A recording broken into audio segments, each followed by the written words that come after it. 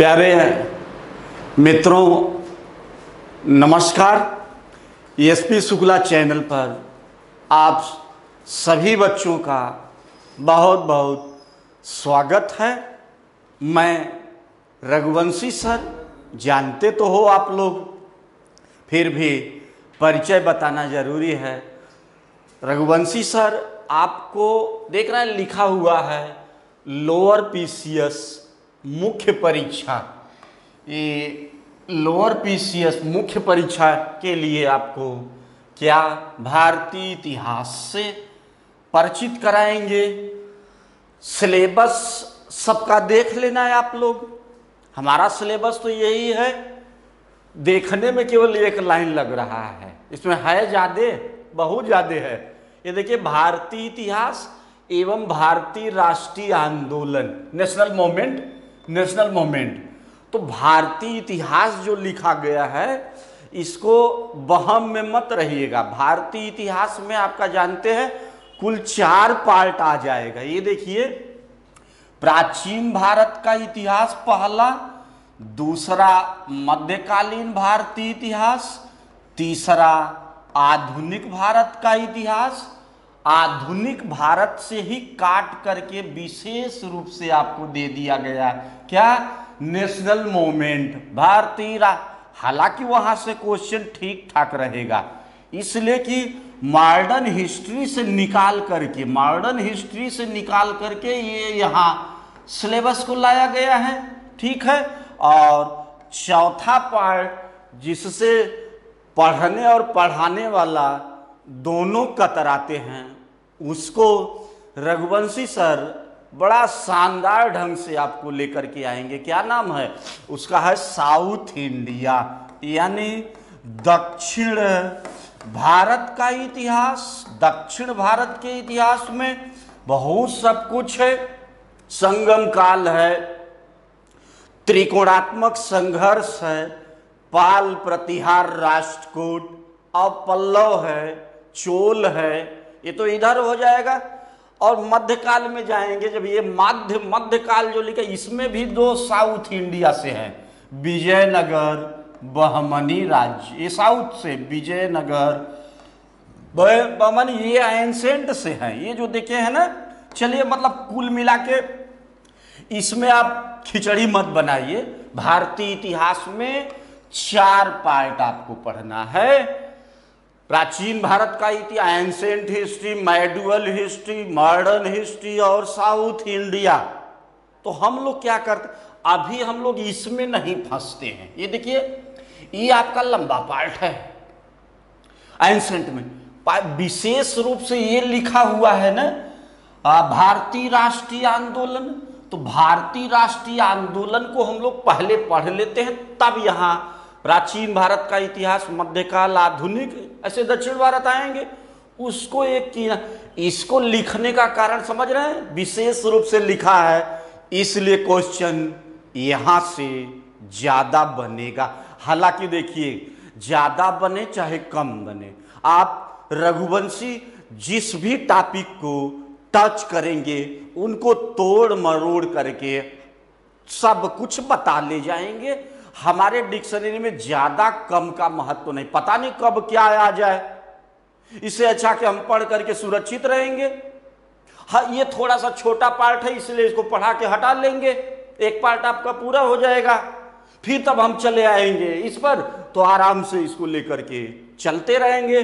चला जाए, आगे निकला जाए। आगे हम लोग, आज हम लोगों का उठ गया है। ये देखिए आज उठा हम लोगों को इसको हटा दिया जाए। नहीं कंफ्यूज हो जाओगे आप। आप लिख लीजिए कि आधुनिक भारत के इतिहास में भारतीय राष्ट्रीय आंदोलन। पहले के लिए आधुनिक भारत के इतिहास में अभी कुछ पीछे छूटा हुआ है। भारतीय राष्ट्रीय आंदोलन वैसे तो आप देख रहे हो 1885 से जो नेशनल मोमेंट लिखा गया है ना वो 1885 से उन्नीस नरम दल काल तीन काल हैं। नरम दल काल गरम दल काल, गांधी काल। किंतु हम लोग क्या करेंगे ना? अपने सुरक्षित रहने के लिए सेब अठारह से शुरू करते हैं। अठारह से लेकर 1950 ये पूरा एक किनारे लगा देते हैं। तब हम चले जाएँगे। जानते हैं कहा? प्राचीन भारत के इतिहास पर इतिहास जानने का साधन तो आप लोग इसके अंतर्गत लिखिए, हेडिंग दिखाओ आप, अठारह सौ संतावन का महान विद्रोह महान विद्रोह। चलिए, अब आप लोग डेमो में चार पाँच क्लास जो जा रही है, डेमो लेते रहे किंतु हमारी क्लास इसलिए विशेष रूप से नहीं जा रही कि डेमो के लिए जा रही है, ठीक है? हमारी विशेष रूप से क्लास यहीं से स्टार्ट हो गई है, ठीक? चलिए, आगे बढ़ाते हैं। अठारह क्वेश्चन आया है। अठारह के विद्रोह का कारण? देखिए, क्वेश्चन बना के पढ़िए, सरल हो जाएगा। भारतीय जनता का अंग्रेज़ों द्वारा अमानवीय शोषण, लिख लीजिए, विद्रोह का विद्रोह का कारण आपके मुख्य परीक्षा के लिए। मुख्य परीक्षा में जानते हैं रटा रटा या जी के टाइप क्वेश्चन नहीं रहेगा। थोड़ा सा टेक्निकल रहेगा, अंदर जाके समझ कॉन्सेप्चुअल कह लिया जाए। ठीक? तो अठारह के विद्रोह का कारण एक लाइन में पहले नोट कर लीजिए, फिर हम जा भारतीय जनता का अमानवीय। देख रहे हैं? अमानवीय शोषण। सभी क्षेत्रों में शोषण हो रहा है। अंग्रेज़ों द्वारा गलत नीति अपनाई गई है। ये देखिए, गलत नीति अपनाने के कारण आप देखोगे तो सभी क्षेत्रों में सामाजिक क्षेत्र, आर्थिक, सामाजिक, आर्थिक, धार्मिक राजनीतिक सभी क्षेत्रों में अंग्रेज़ों की गलत नीति थी शोषण हो रहा है। अरे भाई, क्रांति विद्रोह एक दिन में नहीं होता है। बहुत सारी गुस्सा आक्रोश अंदर भरा पड़ा रहता है।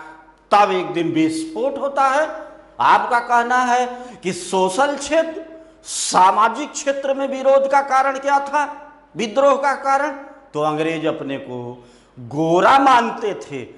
हम भारतीयों को काला सुअर कह करके पुकारते थे कि एक काला सुअर, अरे भाई, कोई भले सावला हो, किंतु तो उसको काला कहकर पुकारोगे तो आप उसके अंदर आक्रोश, गुस्सा ठीक है, आने दो समय, तब तुम्हारी बेटा गोरी चमड़ी हम बताऊँगा ये। मतलब अठारह के विद्रोह का एक कारण काला एवं गोरा।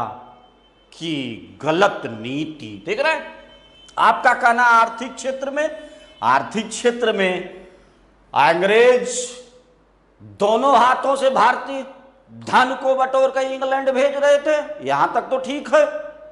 भारत, अंग्रेज़ी कपड़ा को भारतीय बाजारों में उतार दिए। तो हम आप क्या किए कि हीरो हीरोइन बनने के लिए अपना कपड़ा उतारे, अंग्रेज़ों का कपड़ा पहनकर घूमने लगे? यह नतीजा क्या निकला कि जितने हमारे यहाँ लघु कुटीर उद्योग चल रहे थे, सब बंद हो गए? अरे, अंग्रेज़ी कपड़ा पहनने से भूख जाएगी। आक्रोश लोगों के अंदर कि यही अंग्रेज़ अंग्रेज़ी वस्त्र को भारतीय बाजारों में उतार कर हमारा लघु कुटीर उद्योग नष्ट करा दिया। आने दो दो समय आक्रोश गुस्सा, तब बताऊँगा। अरे, ये देखो, सामाजिक, आर्थिक, धार्मिक क्षेत्र हमारे, अरे भाई, ये तो बहुत बड़ा कारण बना था, आगे देख रहे ना। अठारह सौ तात्कालिक कारण तो यही बना था, धार्मिक। हमारे आपके धर्म के साथ अंग्रेज़ छेड़छाड़ करने लगे। हमारे सैनिकों को विदेशों में भेजने लगे। विदेश सैनिक जानने को तैयार नहीं। विद्रोह, आक्रोश, कि ठीक है, और क्षेत्र में आप भले छेड़छाड़ कर लो, किंतु अगर धर्म के क्षेत्र में छेड़छाड़ करोगे अंग्रेज़ों, तब नहीं छोड़ूँगा। तब क्रांति होगी। देख रहे सामाजिक, आर्थिक, धार्मिक, राजनीतिक राजनीतिक क्षेत्र में देखेंगे। पीछे की बातें हैं सब। अभी हम लेके चलते हैं। राजनीतिक डलहौ जी की हड़प नीति डॉक्ट्रिन ऑफ़ लैप्स बाद में जब हम आधुनिक भारत का इतिहास अठारह के पीछे उठाएँगे तो तब वहाँ पर ले आएँगे डलहौ जी कि डॉक्ट्रिन ऑफ़ लैप्स हड़प नीति अठारह के विद्रोह का एक कारण बना। ठीक है, कुल मिलाकर के सामाजिक, आर्थिक, राजनीतिक क्षेत्रों में गलत नीति। भारतीय जनता, देख रहे निकल गया ना? भारतीय जनता का अमानवीय शोषण। अठारह के विद्रोह का, विद्रोह की खास विशेषता क्या थी? हिंदू नोट कर लीजिए, बहुत शानदार क्वेश्चन है। ये भी आपके मुख्य परीक्षा के लिए विशेष है। जो नीचे हिंदू मुस्लिम हिंदू मुस्लिम नोट कर लीजिए। अच्छा एक चीज़ और है, देखिए, कि क्लास डेमो लेने के बाद आप क्लास पढ़ते हैं, ना पढ़ते हैं, ये प्रश्न आपका है। किंतु जो इस समय एक घंटे की वीडियो जा रही है, इसका नोट्स बनाना पड़ेगा। आप, हमारी एक एक बात नोट बना लीजिए। फालतू प्रश्न पर मैं नहीं जाता हूँ, भले चिल्लाता हूँ तो वाजिब प्रश्न पर चिल्लाता हूँ। अरे भाई, लगेगा आपको ना, नोट्स बना लेंगे तो लगेगा ना कि हाँ एक घंटा रघुवंशी सर ने पढ़ाया है, मज़ा आई है, सारा जितना कुछ अट्ठारह का विद्रोह क्वेश्चन उठेगा या उठने लायक, सब हम अभी बटोल लेते हैं आप केवल नोट्स बनाइए। अगर न लिख रहे हो तो आप लिखो। बार बार हम ज़ोर दे रहे कैसे? अठारह के विद्रोह की खास विशेषता हिंदू, मुस्लिम दोनों बढ़ चढ़ करके विद्रोह में भाग लिए, दोनों का लक्ष्य, अंग्रेज़ी साम्राज्य को उखाड़ फेंको। क्लियर हो गया ना? कि अठारह के विद्रोह की खास विशेषता, हिंदू, मुस्लिम हिंदू, मुस्लिम दोनों बढ़ चढ़ करके भाग लिए और दोनों का उद्देश्य था अंग्रेज़ी साम्राज्य को उखाड़ फेंको। अठारह के विद्रोह को, अरे, एक उर्दू शायर उर्दू शायर, अभी हम डिटेल जा रहे हैं, थोड़ा पहले से ऊपर कुछ भूमिका बन जा, तब चलते हैं ना, बढ़ाते मिर्ज़ा गालिब, उर्दू शायर मिर्ज़ा गालिब। मिर्ज़ा गालिब बड़ा शानदार क्वेश्चन है। हो सकता है लोअर में आ जाए आपके। मिर्ज़ा गालिब स्वयं अपने आँखों देखा था। मिर्ज़ा गालिब का जन्म आगरा में, जन्म आगरा नोट कर लीजिए, जन्म आगरा में मृत्यु दिल्ली में हुई थी। याद कर, याद रखिए, दिल्ली में हुई थी। अठारह के विद्रोह के समय ब्रिटेन का प्रधानमंत्री, ये देखिए, ब्रिटेन का प्रधानमंत्री पार्म ईस्टन था, प्रधानमंत्री है। और भारत का, नोट कर लीजिए, भारत का governor general lord Canning, lord, Bharat का गवर्नर जनरल लॉर्ड केनिंग अठारह सौ सत्तावन के विद्रोह के समय अपना मुख्य केंद्र कहाँ बनाया था? प्रयागराज। सबको नहीं बताते हैं आप लोगों को बता देते हैं इलाहाबाद। इलाहाबाद को मुख्यालय बनाया था इलाहाबाद को मुख्यालय बनाया था। चलिए ये आपका क्लियर हो गया। इतना क्लियर हो गया पार पारमेस्टर लॉर्ड केनिंग सामाजिक आर्थिक तो हम लोग क्या कर इसको हटा लेते हैं। आ, चलो आगे बढ़ते हैं। कि अठारह का अब आते हैं। सामाजिक, आर्थिक, धार्मिक, राजनीतिक सब कारण बने थे, किंतु आपको विशेष ध्यान देना है। तात्कालिक कारण। अठारह के विद्रोह का तात्कालिक कारण आप लिखो, हम बोलने चल रहे हैं। पुराने लोहे वाली बंदूक, यही से समस्या उठी थी। बंदूक का नाम क्या है? लिखिए। पुराने लोहे वाली बंदूक। ब्राउन गैस बंदूक का नाम है, ध्यान दीजिए। बंदूक का फिर बोल दिए, बंदूक का नाम है ब्राउन गैस को हटाओ, अंग्रेज़ों का तर्क था कि इस लोहे वाली बंदूक को हटाओ और राइफल ले आओ। राइफल का नाम क्या है? New Enfield rifle. हटाकर, पुराने, न्यू, ये देखिए, new Enfield rifle new Enfield rifle लाया गया, ठीक है, यहाँ तक तो इसके स्थान पर इसको लाया गया, ठीक। अब चलिए, यहाँ तक तो बात ठीक है। राइफल के लिए जो कारतूस बनाया गया, कारतूस गाय एवं सुअर के चर्बी से बना कारतूस, यहाँ तक भी ठीक है, कोई बात नहीं है। संतोष कर लूँगा। किंतु कारतूस लग, कारतूस राइफल में लगाने का जो तरीका लगाए ना, ये देखिए, ऐसा कुछ सब फिट किए कि बिना कारतूस मुँह में ले जाके नोचो पहले, तब, कारतूस राइफल में फिट होगा। जब दांत से नोचने वाली बात आई तो हमारे भारतीय सैनिक क्या किए ले जा करके कि इस बात को जोड़ दिए किस से ये देखिए, इस बात को ले जाकर जोड़ दिए धर्म से। अभी बता रहे थे ना कि हर जगह से समझौता कर लूँगा, किंतु धर्म से समझौता अंग्रेज़ों नहीं करूँगा। इसके लिए मर मिटूँगा, या तो मार डालूँगा, या मर जाऊँगा। क्लियर न? ये देखिए, अब यही से उठाते हैं, आगे बहुत सारी बातें हैं। देखिए, वीडियो आप ज़रूर पढ़िएगा रघुवंशी सर। पढ़ना आगे, आपका मन है क्या करेंगे? किंतु एक घंटे लमसम पचपन मिनट, पचास साठ मिनट की वीडियो जाएगी। साठ तो नहीं, पचास और पचपन के बीच वीडियो रहेगी। पूरा अठारह का विद्रोह आपको क्लियर कर देंगे। भाई, आपको पढ़ाए हैं तो उस वीडियो को पढ़ लीजिए। आगे जो भी इच्छा हो आपकी, ये मेरा रिक्वेस्ट है आप लोगों से, ठीक ना? चलिए, आगे बढ़ा ले चलते हैं। आगे क्या है? कि अब इसी विरोध होने लगा, धर्म के अब इसी धर्म के विरोध में। आगे देखिए, कि बैरकपुर छावनी, ये देखिए बैर कलकत्ता, मेरठ नहीं, बैरकपुर हम पूरी बात लिख, आप भी लिखते जो बैरकपुर छावनी का ब्राह्मण सैनिक बलिया निवासी उत्तर प्रदेश। ब्राह्मण सैनिक, बलिया निवासी, यूपी, क्या नाम है? मंगल पांडे।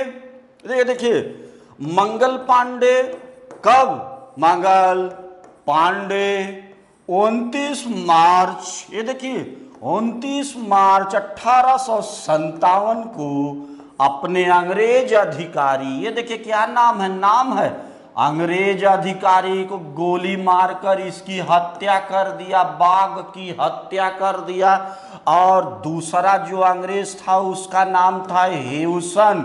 हेउसन को गोली, इसकी हत्या नहीं, इसको गोली मारा था और इसका मर्डर, बाघ का मर्डर। और ह्यूसन को गोली मार दिया।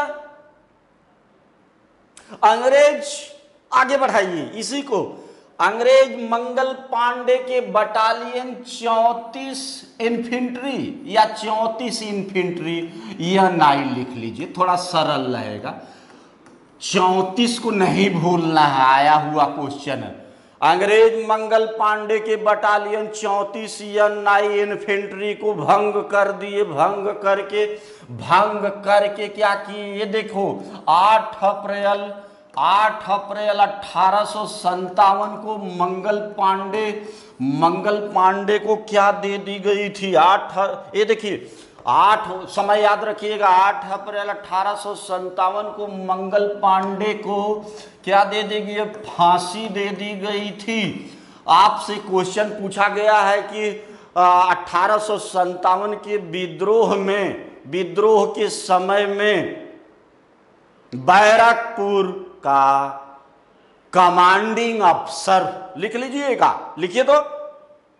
कि अठारह सौ सतावन के विद्रोह के समय लिखे तो हैं बैरकपुर छावनी, बैरकपुर का कमांडिंग ये लिख देते हैं।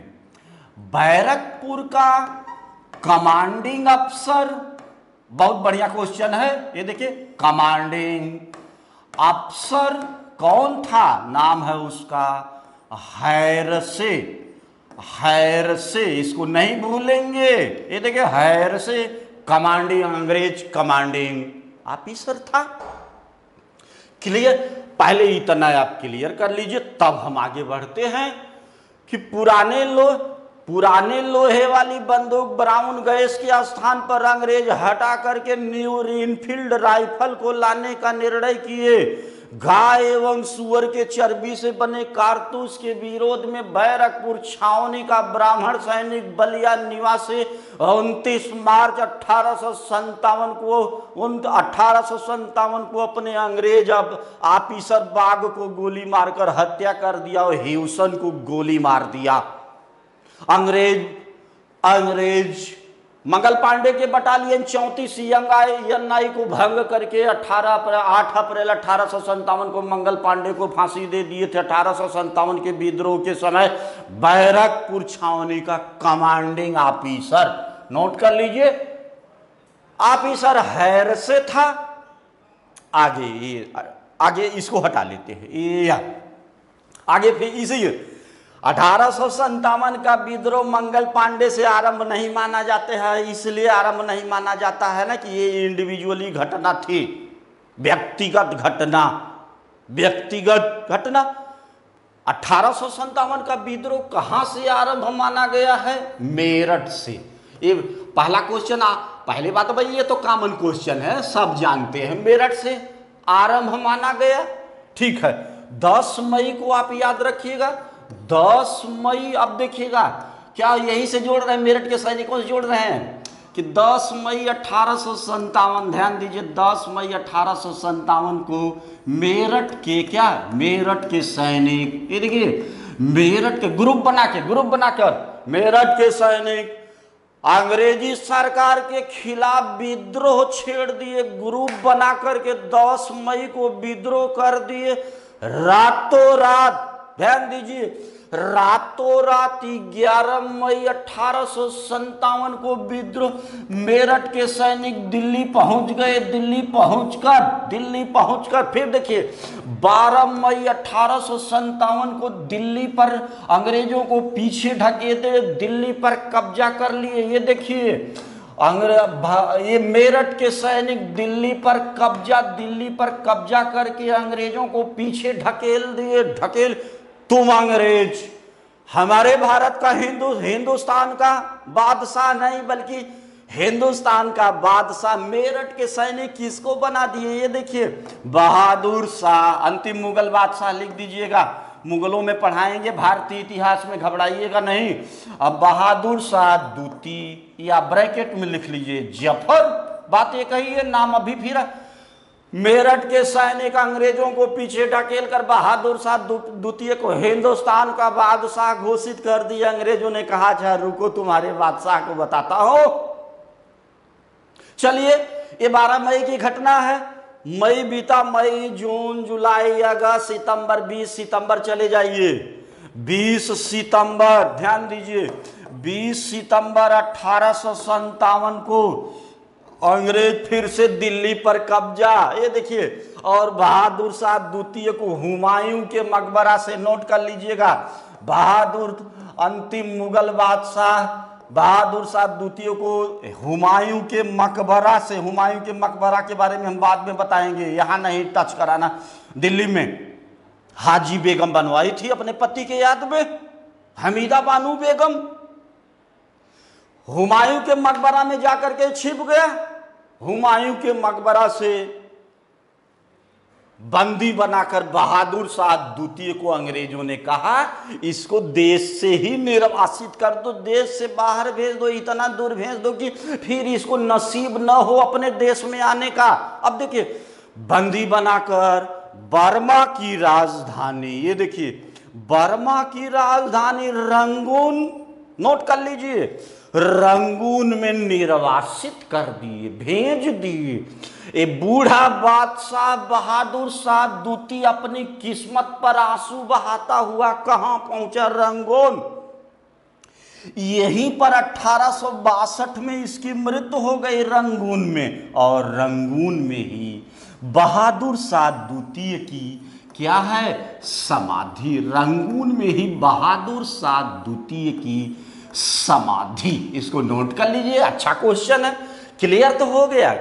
इतना आप क्लियर कर लीजिए तो फिर हम एक चार्ट बनाते हैं। पूरे बोर्ड का चार्ट भर देंगे अभी उठा करके आपको। आप देखिए क्या हो, एक बार और इसको कि अठारह का विद्रोह मेरठ से आरंभ माना गया। 10 मई अठारह सुनिएगा ध्यान से, मिला लीजिए कापी चेक कर लीजिए। इसीलिए हम रिवीजन कराते हैं। कि 10 मई अठारह को मेरठ के सैनिक अंग्रेज़ी सरकार के खिलाफ विद्रोह छेड़ दिए। रातों रात ग्यारह मई को रातों रात मेरठ के सैनिक दिल्ली पहुँच गए। 12 मई को मेरठ के दिल्ली पर कब्जा करके अंतिम मुगल बादशाह बहादुर शाह द्वितीय को हिंदुस्तान का बादशाह घोषित कर दिए। किंतु 20 सितंबर अठारह को अंग्रेज़ फिर से दिल्ली पर कब्जा करके बहादुर शाह द्वितीय को बंदी बनाकर बर्मा की राजधानी रंगून भेज दिए। और रंगून में अठारह में मृत तो इसको याद रखिए मृत हो गए रंगून में ही बहादुर शाह द्वितीय की समाधि, अठारह का विद्रोह भारत में निम्न स्थानों पर चार्ट बनाइए। कापी को पलट दीजिए तो ये उल्टा कर दीजिए। अठारह का विद्रोह भारत में निम्न स्थानों पर। ये देखिए, आठ नौ स्थान, हमारा तो बोर्ड पूरा भर जाएगा ठीक है?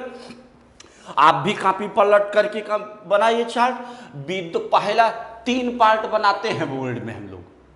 एक नंबर पे हम लोग ऊपर से ही लेके आते हैं, ये देखिए अरे मिटो विद्रोह। विद्रोह का स्थान। ये देखिए, ये विद्रोह का स्थान मतलब कहाँ कहाँ विद्रोह हुए थे? आठ नौ स्थान। अभी अभी चार्ट हो। दूसरे पार्ट पे क्या है?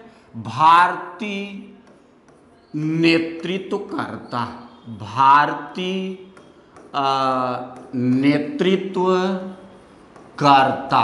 ये देखिए दूसरे स्थान पर बन गए, ये ठीक? तीसरे स्थान पर क्या रहा है? ठीक, यही स्थिति बदल दी। अंग्रेज़ अंग्रेज़ नेतृत्व अंग्रेज़ नेतृत्व करता। थोड़ा सा जगह छूटना चाहिए समझा ये है ये है, देख रहे तीन पार्ट बना है। आगे चलिए, चलते हैं। एक चार, आठ, नौ स्थान आ रहे ये देखिए, दिल्ली, जैसे विद्रोह आपका आरंभ हुआ, कहा? दिल्ली में। तो दिल्ली में कौन भारतीय नेतृत्व का दो थे? एक तो आप नोट कर लीजिए, बहादुर शाह। अभी बता क्या रहे? बहादुर शाह द्वितीय या ज़फ़र, और दूसरा इसी का रिश्तेदार था, ये भी आया वो ज़फ़र बख्त खां, ज़फ़र बख्त खां। ये देखिए यहाँ। ये भारतीय नेतृत्व, यही ज़्यादा आया है, अभी पूरा पूरा भरेगा।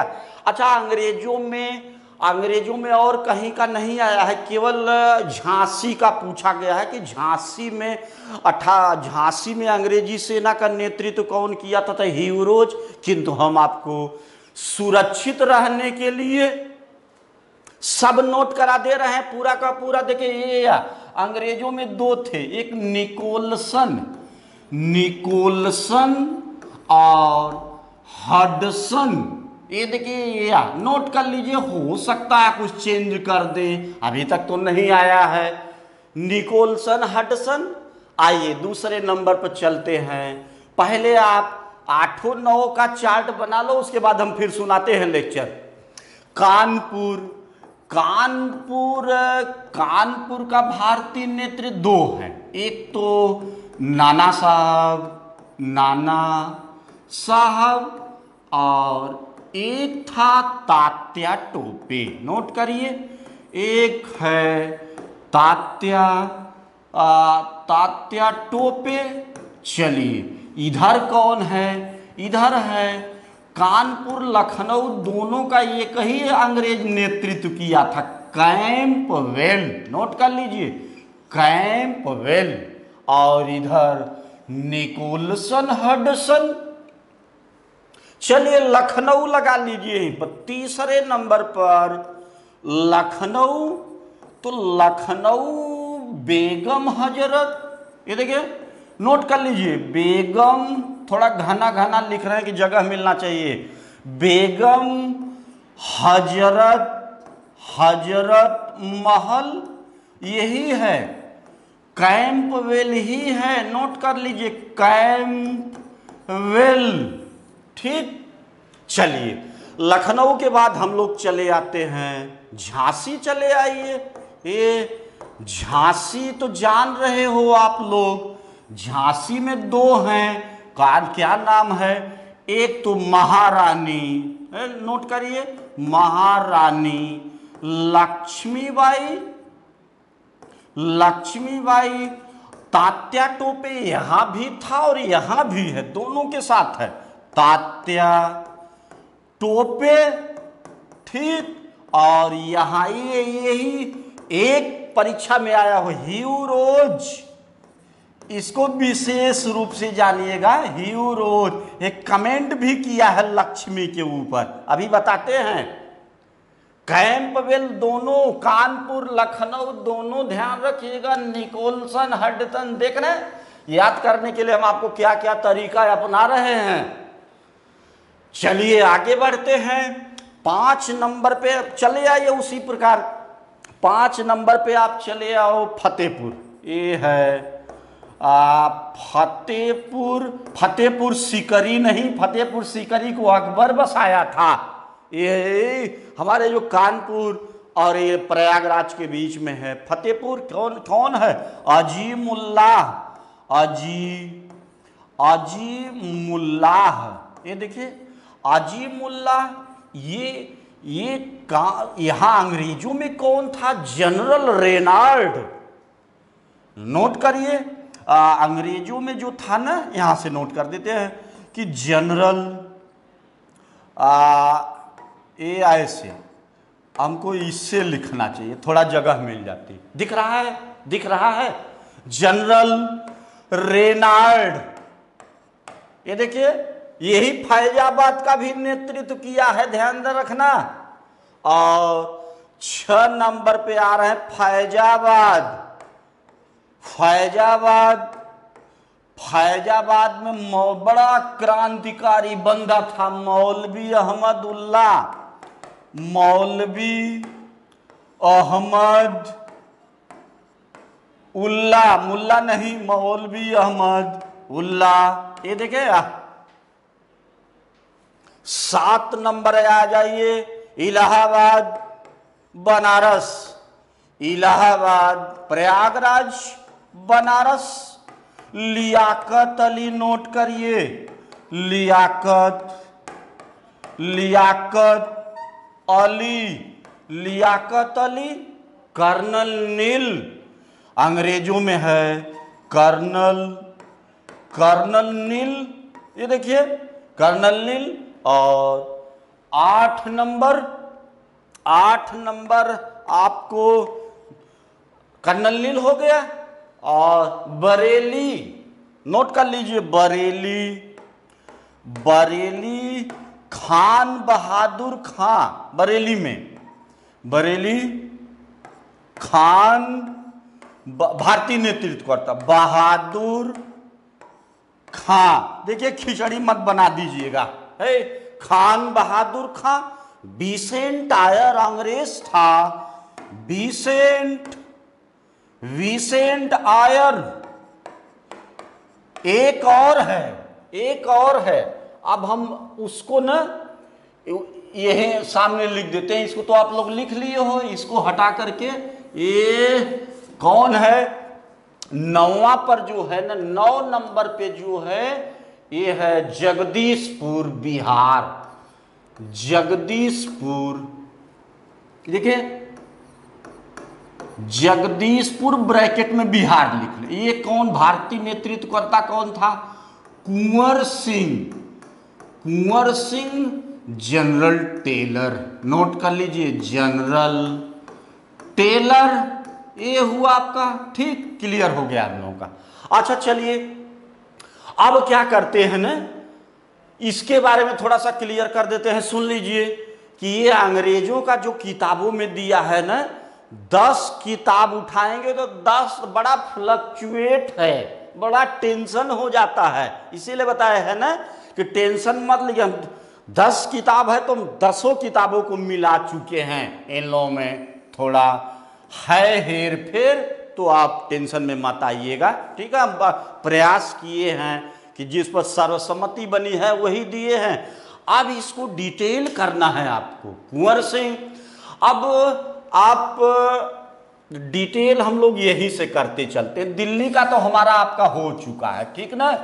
तो कानपुर का देखते हैं। ये देखिए, अठारह कैसे बन रहा है? कानपुर में। देखिए क्या स्थिति बनी है। कानपुर का पेशा, ये देखिए कानपुर है ना? कान, इसके बारे में जितना क्वेश्चन बना है, सब हम बता देते हैं अभी। अच्छा एक चीज़ कानपुर में आप नाना साहब लिखे थे। नाना नाना साहब, कानपुर का पेशवा क्या नाम है? कानपुर का पेशवा बाजीराव। ध्यान नोट कर लीजिए। बाजीराव सेकेंड। का दत्तक पुत्र, कौन था? क्वेश्चन आया है। दत्तक मतलब गोद लिया हुआ पुत्र कौन था? आप देख रहे हैं। नाना साहब क्वेश्चन बन गया आपका। नाना साहब, लखनऊ लखन कानपुर में जब अंग्रेज़ों की सेना भारी पड़ने लगी तो नाना साहब क्या किए? जानते हो? नाना साहब भग गए। किधर की तरफ़? नेपाल की तरफ़ भग गए नाना साहब। उसके बाद नाना का पता ही नहीं चला, नाना कहाँ चला गया? गुम नाम मृत हो गई। गुम नाम मृत हो गई, पता ही नहीं चला, मृत भी नहीं चला। ये तो नहीं पूछा कि नाना साहब के बचपन का नाम बताओ। धोंधु पंथ भोन ये देखिए, नाना साहब के बचपन का भोंदू नहीं धोंधु नाना साहब के बचपन का नाम धोंधुपन फिर क्वेश्चन लिखिए कि नाना साहब का, नाना साहब का सेनापति, नाना साहब का सेनापति तात्या टोपे आप लोग नोट कर लीजिए। नाना साहब का सेनापति कमांडर चीफ कमांडर सेनापति तात्या। फिर आपसे क्वेश्चन पूछा गया कि नाना साहब का प्रमुख सलाहकार अजीमुल्ला इसीलिए हम इसको मिटाए नहीं है ना, इसी के सहारे आपको बता ले जाएँगे। अजीमुल्ला देख रहे कई क्वेश्चन बता दिए हैं। कानपुर, फिर इसको बता ले गए। कानपुर का पेशवा, बाजीराव द्वितीय का दत्तक पुत्र नाना साहब अंत में नेपाल की तरफ़ चला गया। नाना साहब की मृत्यु हो गई। नाना साहब के बचपन का नाम धोंदुपन। नाना साहब का कमांडर इन चीफ सेनापति तात्या टोपे, नाना साहब का प्रमुख सलाहकार अजीमुल्ला। ठीक, आगे बढ़ू। आगे बढ़ेंगे हम लोग ना? क्या हो रहा है? आगे देखिए। आगे हुआ है, ये लखनऊ में आइए। अवध का नवाब क्या नाम था? अवध का नवाब वाजिद अली शाह ध्यान दीजिए, इसी का, बेगम का पति था। वाजिद नोट कर लीजिए। वाजिद अली, अवध का वाजिद अली शाह अंग्रेज़ दिमाग लगाए कि पति पत्नी को इतना दूर भेज दो ना कि ये दोनों कभी मिल ही ना सके। दिमाग लगाए अंग्रेज़? देखिए, अंग्रेज़ क्या किए कि अवध के नवाब वाजिद अली शाह को बंदी बना करके, और देखिए पत्नी लखनऊ में अब पति को भेज दिए सब कलकत्ता, जाओ, प्रयास करके भी नहीं मिल पाओगे। अरे भाई, लखनऊ, बनारस, इलाहाबाद, कुछ होता तो समझ में आता। दो चार घंटे में पहुँच जाएँगे कोई। लखन, बेगम हज़रत महल भी पीछे नहीं। बेगम हज़रत महल अपने अल्प वयस्क नाबालिग, चार पाँच वर्ष का पुत्र था। क्या ना, बेरजीत शाह। ये देखिए, बेरजीत आ बेरजीत बिरजीत शाह, बिरजीत कादिर भी कह सकते हैं। बिरजीत शाह, बिरजीत कादिर को नवाब की गद्दी पर बैठा करके भयानक लड़ाई लड़ी अंग्रेज़ों के साथ। किंतु तो लखनऊ में अंग्रेज़ों की सेना भारी पड़ने लगी। भारी पड़ने लगी, लखनऊ ये बेगम अच्छा लखनऊ अवध, लखनऊ का मतलब उस समय अवध अवध अभी एक क्वेश्चन और बता, पहले देखे बेगम हज़रत महल बेगम भी चली गई अंत में किधर को? नेपाल की तरफ़ चली गई। उसके बाद बेगम का भी नहीं पता चला, बेगम कहाँ को चली गई। कई? लखनऊ? आपसे पूछा गया है कि अठारह सौ क्वेश्चन बना देते हैं। आप भी क्वेश्चन लिख लीजिए। अठारह सौ सत्तावन के विद्रोह के समय अवध अवध मतलब वही लखनऊ पंजाब अवध का अंग्रेज़ रेजिमेंट कौन था? अंग्रेज़ रेजिमेंट जेम्स आउ, आउट्रम था। ये देखिए, लोग नोट कर लीजिए, जेम्स जेम्स आउट्रम था। अंग्रेज़ रेजिमेंट, अवध का अंग्रेज़ रेजिमेंट जेम्स आउट्रम था। ठीक है, आगे बढ़ाते हैं, आगे हम लोग चलेंगे। तो इसको हम लोग थोड़ा मिटा लेते। क्लियर तो हो गया लखनऊ की बेगम वजीद अली शाह ये क्लियर हो गया आपका। आ, इतना जगह खाली कर लेते हैं इतने में पढ़ा लेंगे हम। क्लियर कर ले जाएँगे। ए चलिए। आ गए हम लोग झांसी। ये देखिए झांसी। अब झांसी पर सुनो आप क्या हो रहा है। अठारह बताए हैं। कि लाल डलहौ जी? लाल डल, लाल डलहौ जी? डॉक्टरीन ऑफ़ लैब्स की तरफ़। अच्छा लैब्स के तहत अठारह में, तिरपन में 53 में झांसी को हड़प लिया था। महारानी लक्ष्मीबाई का पति गंगाधर राव लिख लीजिएगा। गंगाधर राव था निसंतान थे दोनों। दामोदर नाम का पुत्र, संतान। दत्तक पुत्र था, गोद लिए थे। अंग्रेज़ दामोदर गंगाधर राव की मृत्यु हो चुकी है। अंग्रेज़ गंगाधर राव के पुत्र दामोदर को झांसी का मालिक बनने से इनकार। हे लक्ष्मी दामोदर को अपने साथ रखो, किंतु तेरा दामोदर तेरे झांसी का मालिक नहीं बनेगा। लक्ष्मी ने कहा कि पति की मृत्यु हो चुकी है पुत्र, झांसी का मालिक नहीं बनेगा, इसलिए आओ। सैनिकों को बटोरो, अंग्रेज़ों के साथ भयानक युद्ध करते हैं, इसीलिए महारानी लक्ष्मीबाई अंग्रेज़ों के साथ, सैनिकों के साथ मिलकर भयानक युद्ध की नाकों चना चमवा दी, छक्का छुड़वा दी। तुम्हें झांसी में अंग्रेज़ों की सेना भारी पड़ने लगी? अब देखिए गद्दारी होगी। कि आज लक्ष्मीबाई और तात्या टोपे, ये दोनों क्या किए? झांसी छोड़कर मध्य प्रदेश ग्वालियर, ध्यान दीजिए। मध्य प्रदेश ग्वालियर, ये देखिए, मध्य प्रदेश ग्वालियर के किले पे झंडा लहरा दिए, झंडा लहराने लगा। किंतु ग्वालियर का गद्दार महाराजा सिंधिया आज भी है, इनका परिवार जो है एक कांग्रेसी हैं, सब जो है, समझ रहे हैं ना? बुरा मत मानना है आप लोग कि जो लोग कांग्रेसी होंगे बुरा मान जाएँगे। सिंधिया, गद्दार सिंधिया। अंग्रेज़, अरे बाप रे बाप, युद्ध चल रहा है। ये देखो, झंडा लहरा रहा है ये। सिंधिया क्या किया अंग्रेज़ों से जा मिला? अब लीजिए किंतु महारानी लक्ष्मीबाई पीछे नहीं हटी। लड़ती रही लड़ती रही, अंत में क्या हो रहा है ये? नोट कर लीजिए, सत्रह जून सत्रह जून अठारह सौ अंठावन को महारानी लक्ष्मीबाई किसको प्राप्त हो गई? वीर। गति को प्राप्त हो गई। इसी पर हीरोज कहा है ना हीरोज हीरोज हीरोज क्या कहा था कि ये सोई हुई महिला, सभी भारतीय क्रांतिकारियों में एकमात्र मर्द है। नोट कर लीजिए कि सोई मृत हो चुकी है। महिला सभी भारतीय क्रांतिकारियों में एकमात्र मर्द है। ये हीरोज बोला था, लक्ष्मीबाई का जन्म 1835 बनारस के गोल घर।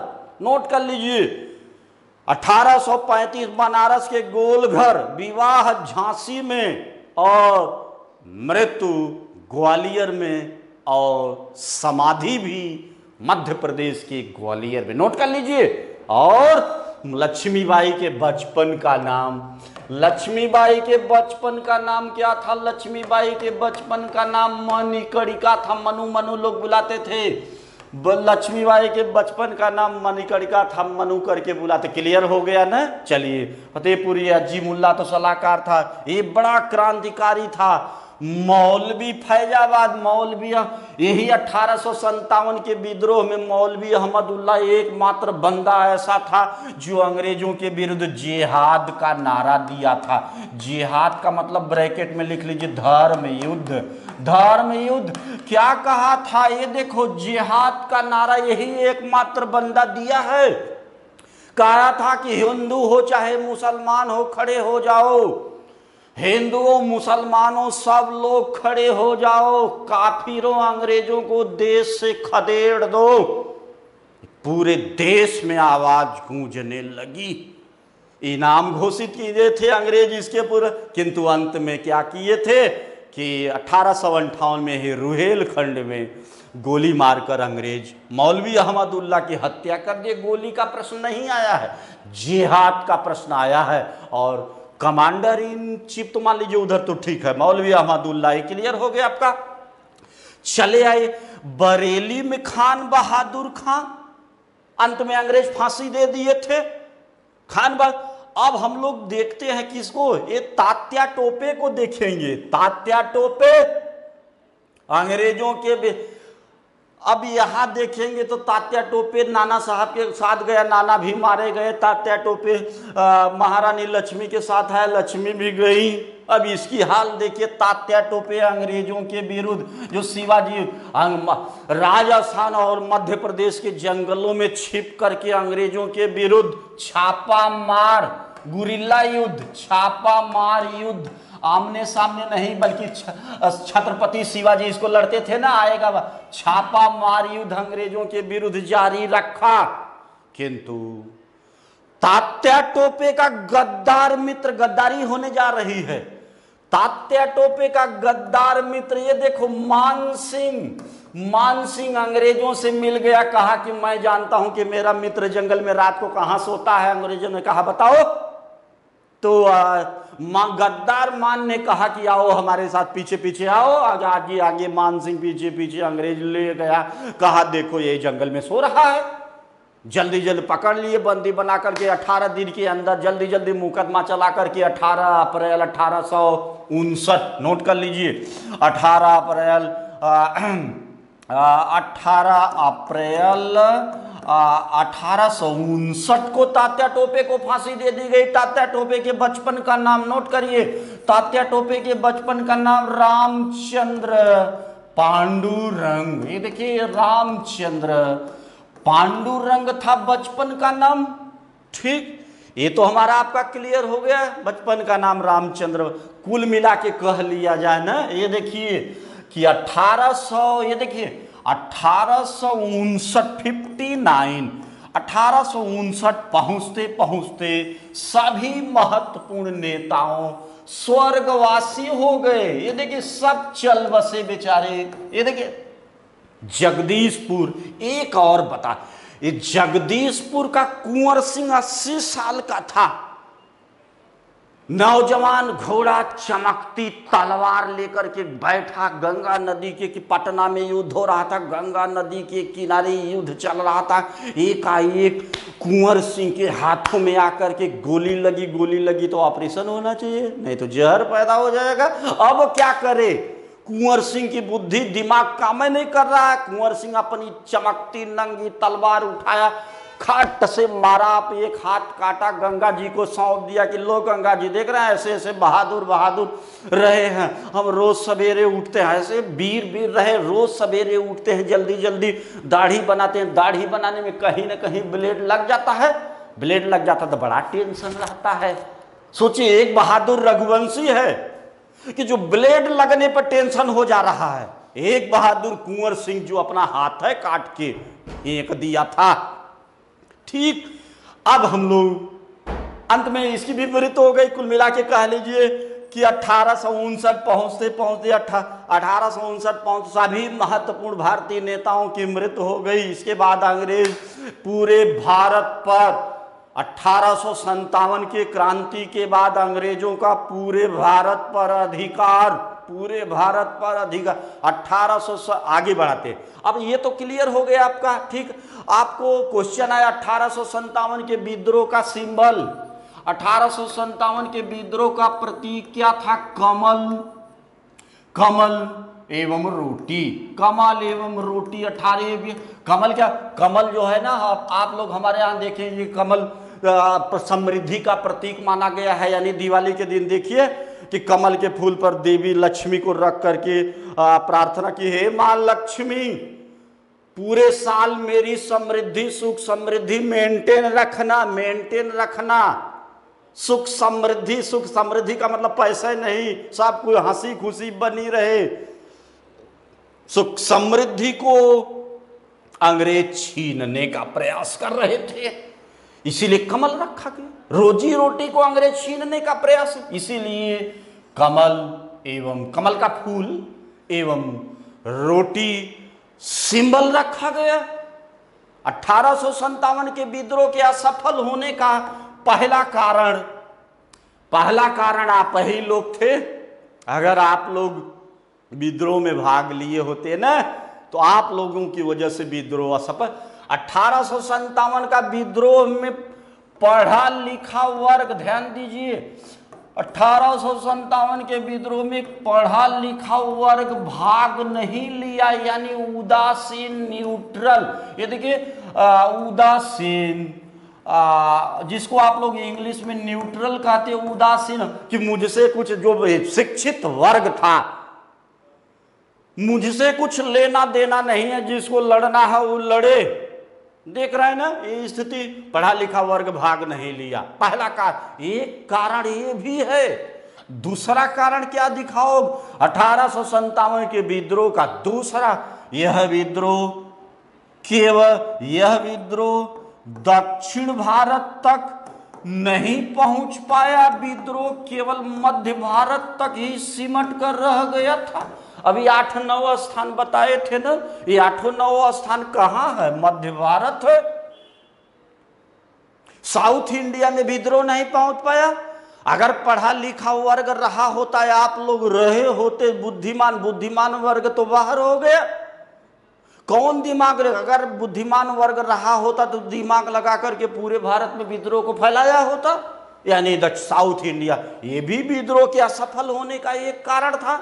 अठारह के विद्रोह का असफल होने का दूसरा कारण कि भारतीय सैनिक, ये देखिए, भारतीय सैनिक भारतीय सैनिक अंग्रेज़ों के सैनिकों की अपेक्षा दुर्बल साबित हुए, कमज़ोर साबित हुए, कमज़ोर दुर्बल। अरे भाई, क्यों न हो? ये जो भारतीय सैनिक थे ना, सात रुपये महीने तनख्वाह पाते थे। सात रुपया में अपना दूध, दही, घी खा करके बलिष्ठ बने, या परिवार को खिलावे। कमज़ोर। देख रहे भारतीय अगला कारण है, अगला कारण है कि भारतीयों में ठोस योजना, ये देखिए भारतीयों में ठोस योजना, यानी यानी जो, जिसको आप लोग जोरदार प्लानिंग अरे भाई आप आप लोअर पीसीएस की परीक्षा दे रहे बिना प्लानिंग के नहीं कुछ हो पाएगा। अगर बहुत सारे लोग मिल जाएँगे, आपको परीक्षा आने तक इतिहास पढ़ाते रहेंगे। इतिहास शुरू तो हो जाता है, ख़त्म होने का नाम नहीं लेता है। लोग बड़ा उत्साह से, बड़ी मीठी मीठी बातों को बोल करके इतिहास को शुरू कर देंगे। उनको पता ही नहीं रहता है कि इतिहास खत्म कहाँ होगा। बारह बारह महीना, पंद्रह महीना प्लानिंग बना के नहीं आते हैं। हमारी तो प्लानिंग रहती है। हमारी प्लानिंग थी कि आज के लेक्चर में पूरा अठारह का विद्रोह पूरा कर देंगे। ऐसे ही हमारी प्लानिंग हर लेक्चर में रहती है। देख रहे ठोस योजना अर्जुन की तरह स्पष्ट लक्ष्य, देखिए, अर्जुन की तरह स्पष्ट लक्ष्य का अस्पष्ट लक्ष्य का अभाव था। ये अठारह के विद्रोह के असफल होने का कारण पढ़ा लिखा वर्ग विद्रोह, भाग ही नहीं लिया। यह विद्रोह दक्षिण भारत तक नहीं पहुँचा, केवल मध्य भारत तक ही सीमट कर गए भारतीय सैनिक, अंग्रेज़ों की सैनिकों की अपेक्षा दुर्बल साबित हुए और भारतीयों के पास ठोस योजना, स्पष्ट लक्ष्य का अभाव था। अंग्रेज़ों के अस्त्र शस्त्र के साथ बहुत सारे कारण है। अंग्रेज़ों के अस्त्र शस्त्र के सामने भारतीय अस्त्र शस्त्र बौना साबित हुआ। बौना मतलब कमज़ोर। अंग्रेज़ों का अस्त्र शस्त्र क्वालिटी इनकी अच्छी थी। क्वालिटी इनकी अच्छी थी। हमारे यहाँ तो वही लाठी बल्लम भाला मार देंगे मार देंगे तब तक अंग्रेज़ मार देते थे। देख रहे अठारह का विद्रोह हम आप लोगों को कंप्लीट करा ले गए। हमको नहीं लगता है कि जितना पढ़ाया हूँ। आपको इससे कहीं बाहर आएगा बसरते नोट्स बने, हमारी बातों पर ध्यान दीजिएगा। नोट्स बनाइए कायदे से और बढ़िया से उसको एक बार, दो बार रिवीजन करिए। ठीक है, हम बड़े हैं, गुरु हैं आपके, आपको समझा ही सकते हैं, बताए हैं ना कि इतिहास लोग शुरू कर लेते हैं, उनके ख़त्म करने का समय नहीं। तो संभल करके संभल करके, बहुत सारे चैनल चल रहे हैं, कहीं आप खतरे में न फंस जाइए।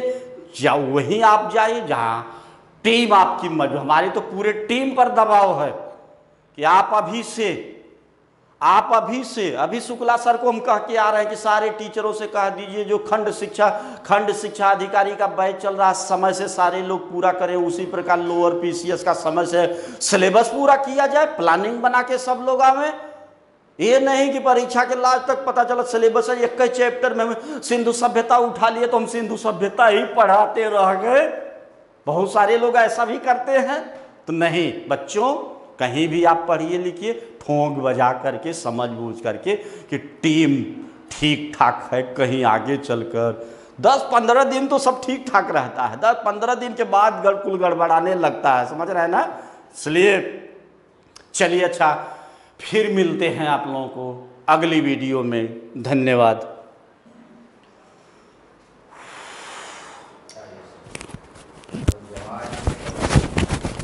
इसको बंद करना